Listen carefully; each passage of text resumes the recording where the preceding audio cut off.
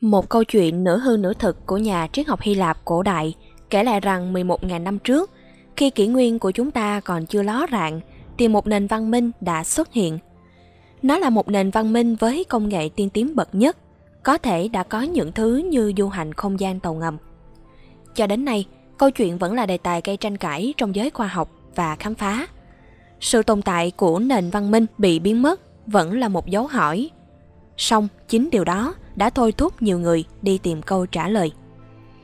Vương quốc đó là Atlantis, một hòn đảo nằm trên Đại Tây Dương. Bên ngoài cột trụ của Heracles, tức eo biển Trobrater, nối liền địa Trung Hải với Đại Tây Dương ngày nay. Hòn đảo này rộng lớn cả Libya và Thổ Nhĩ Kỳ cộng lại. Atlantis nhận được sự che chở của vị thần biển cả Poseidon trong thần thoại Hy Lạp. Nó có đầy đủ điều kiện thuận lợi về thời tiết và địa hình. Atlantis có nền văn minh vượt bậc với sự phát triển đạt đến mức khó tin cả về công nghệ lẫn quân sự. Quân đội của họ là cực kỳ hùng mạnh, đặc biệt là khả năng chiến đấu trên biển. Theo thời gian, họ thống trị cả một vùng rộng lớn, bao gồm cả châu Phi và châu Âu. Nhưng khi Atlantis ngày càng hùng mạnh, cư dân ở đây lại trở nên kiêu nạn, tham vọng và suy đồi về đạo đức. Ví như trong thần thoại Hy Lạp, con người trở nên kiêu hãnh quá mức, họ sẽ vi phạm đến những giới hạn mà tạo hóa đã đặt ra cho con người. Lúc này sự trừng phạt dẫn đến, thần biển cả Poseidon đã thật sự tức giận.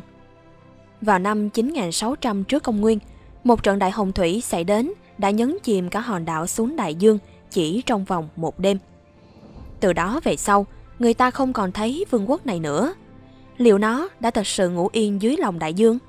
hay Atlantis thật ra chỉ là sản phẩm của trí tưởng tượng. Những câu chuyện kể về vương quốc bạc mệnh Atlantis có nguồn gốc từ những trang sách của Platon, một triết gia nổi tiếng người Hy Lạp. Cụ thể thì Atlantis được Platon nhắc đến trong hai tác phẩm của mình vào năm 360 trước công nguyên. Ông đã tạo ra các cuộc đối thoại của Timaeus và Critias về Socrates vĩ đại và Atlantis là chủ đề quan trọng trong cuộc trò chuyện này. Nhưng Platon không cho rằng Atlantis là một đất nước giả tưởng. Ông khẳng định chắc nịch rằng đất nước này có tồn tại và nó đã bị diệt vong chỉ trong một đêm. Để nói về Platon, chúng ta không cần phải nghi ngờ gì về những thành tựu mà ông đã để lại cho nhân loại. Nhưng liệu có thể tin những lời Platon nói về Atlantis hay không? Theo các nhà khoa học, Tất cả những gì chúng ta hiểu về đại dương chỉ khoảng 5%. Chúng ta vẫn rất mơ hồ về những thứ bên dưới đại dương bao la, cũng như những dấu vết bị thời gian nhấn chìm. Liệu có hay không, viễn cảnh giống như bộ phim Aquaman, nghĩa là một số người Atlantis đã sống sót qua trận đại hồng thủy và tiến hóa để thích nghi với môi trường dưới nước. Một vương quốc vẫn đang tồn tại dưới đáy đại dương, có khi Họ còn đang chuẩn bị tấn công lại thế giới trên cạn khi con người đang hủy hoại môi trường biển. Trên thực tế, câu chuyện về thành phố Atlantis vốn dĩ đã tồn tại một cách rất bình thường lặng lẽ, cho đến khi Ignatius Donnelly, một nhà dân biểu, nhà sử học nghiệp dư, đã tuyên bố trong cuốn sách Atlantis, The Antediluvian World năm 1882. Donnelly cho rằng tất cả các nền văn minh, sự phát triển của khoa học kỹ thuật mà con người đã đạt được đều có thể bắt nguồn từ quốc đạo mất tích mà Platon đã đề cập. Những tác giả này không chỉ đơn thuần đề cập đến những gì Platon đã nói hàng ngàn năm trước. Ông đã thêm một số ý tưởng và ý kiến cá nhân của mình về Antarctic. Donnelly dự đoán về một tương lai không xa khi con người đã thật sự tìm thấy Antarctic. Những đồ vật của nền văn minh này rồi sẽ được trưng bày khắp các viện bảo tàng trên thế giới – khi hoàn thành cuốn sách của mình, Donnelly đã gửi bản sao của nó cho Darwin, cha đẻ của thuyết tiến hóa. Darwin thấy nó rất thú vị, nhưng ông cho rằng nó chưa đủ thuyết phục để chứng minh Atlantis thực sự tồn tại. Tuy nhiên, cũng không ít người từ đó bắt đầu tin vào Atlantis. Một số nhà văn sau đó đã dựa trên lý thuyết của Donnelly và thêm thắt các ý tưởng của mình vào tác phẩm. Có rất nhiều giả thuyết về vị trí của Atlantis đến mức nhiều người đã từng thốt lên rằng chọn một điểm trên bản đồ và người ta sẽ nói nó là Atlantis. Nó nằm ở mọi nơi mà chúng ta có thể tưởng tượng. Dù người ta đã tìm thấy không ít dấu vết về một thành phố đã bị nhấn chìm sau mức độ thuyết phục vẫn còn rất thấp. Năm 1940, nhà tiên tri nổi tiếng Edgar Casey đã tạo nên những tranh cãi. Ông này chợt tỉnh giấc khi đang ngủ và nói rằng mình đã có những thông tin đầu tiên về Atlantis. Casey cho rằng dấu vết của nền văn minh này vẫn còn tìm thấy là đảo Bimini, bang Florida, nước Mỹ. Atlantis sẽ thật sự sống lại vào năm 1969. Trong những tiên tri của mình về Atlantis, ông cho rằng cư dân của vương quốc này đã chuyển kiếp và trở thành người Mỹ, người châu Âu ngày nay. Và ông cũng từng là người Atlantis. Egat Casey nhớ lại và mô tả rõ vương quốc của mình trông như thế nào. Mô tả của ông có nhiều điểm trùng hợp với Platon. Và Casey chưa đọc những gì mà Platon viết trước đó. Dù là tiên đoán của Casey là vào năm 1969, nhưng vào năm 1968, một phát hiện bất ngờ đã xuất hiện. Tháng 9 năm đó, khi đang bơi trong vùng biển phụ cận đảo Bimini, tiến sĩ Manson Valentine đã vô tình phát hiện một con đường được lát bằng 50 khối đá lớn hình chữ nhật và đa giác chìm sâu dưới 30 mét nước.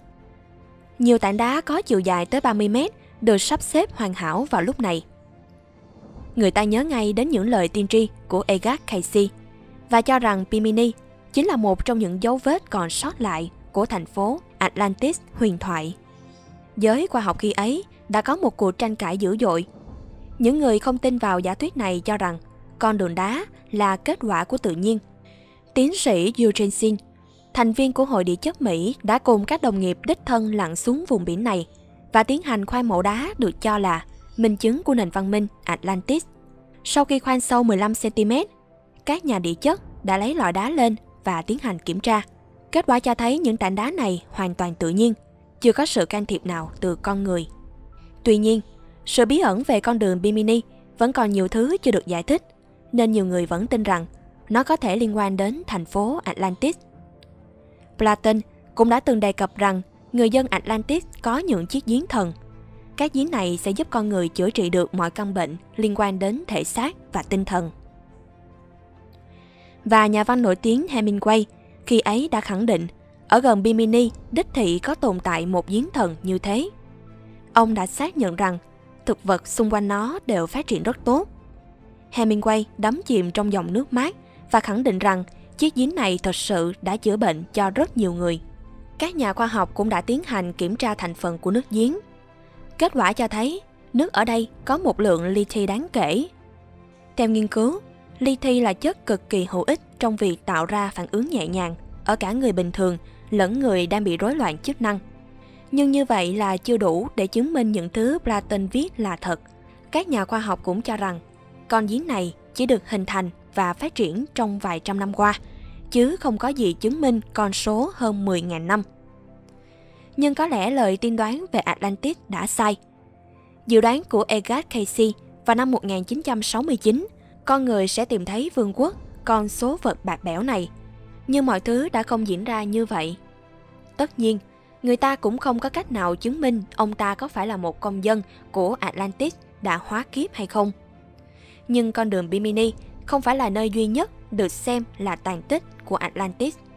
Bạn sẽ ngạc nhiên khi biết, vì người ta đã đặt ra giả thuyết Atlantis có thể thuộc sa mạc Sahara ngày nay. Điều này nghe thì có vẻ tuyết âm mưu hơn một chút, nhưng nhiều người rất tin vào giả thuyết này.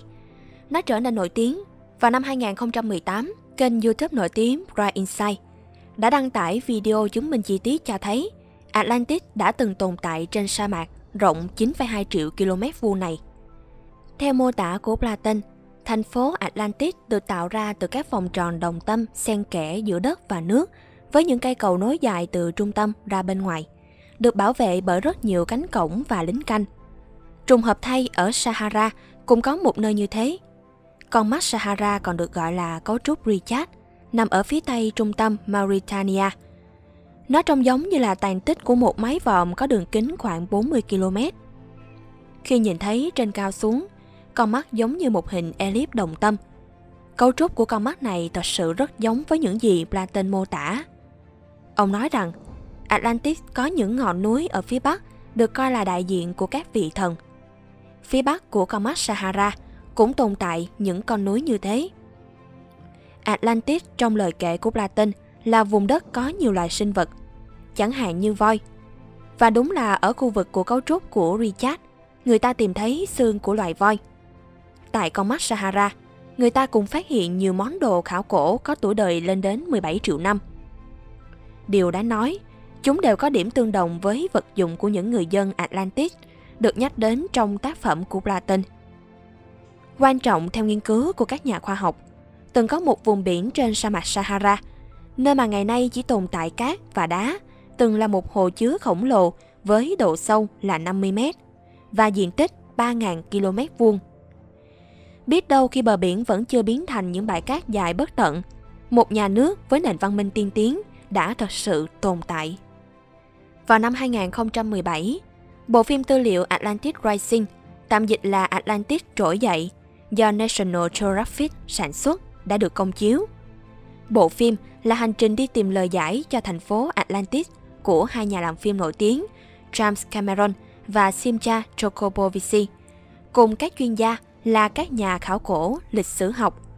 Cuộc tìm kiếm của đoàn thám hiểm được tiến hành ở vùng biển Địa Trung Hải, ngay khu vực được gọi là cột trụ của Hercules, tức eo biển Gibraltar, ngay dưới Tây Ban Nha ngày nay.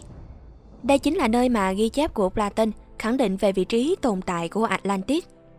Đoàn thám hiểm đã sử dụng nhiều những tư liệu của Platon và công nghệ tiên tiến để khảo sát đáy biển. Một trong những phát hiện thú vị mà đoàn thám hiểm tìm thấy, đó là 6 mỏ neo cổ. Các chuyên gia cho rằng những mỏ neo này có từ thời kỳ đồ đồng. Rất có thể, đây là những dấu tích còn sót lại của Atlantis sau khi nó bị nhấn chìm xuống đáy biển. Khám phá này của đoàn thám hiểm Atlantis Rising có thể mang tính đột phá. Nhưng để khẳng định nó thật sự thuộc về thành phố Atlantis cổ vẫn cần thêm thời gian. Ngay cả James Cameron cũng không dám chắc về những gì mình đã tìm thấy. Cho đến nay, những phát hiện liên quan đến Atlantis vẫn không thể đưa ra kết luận về sự tồn tại của thành phố này. Dù sao, ít nhiều thì nó cũng đã đóng góp vào kho tàng tri thức của nhân loại, những kiến thức mới và tôi thúc trí tò mò, khả năng khám phá của con người.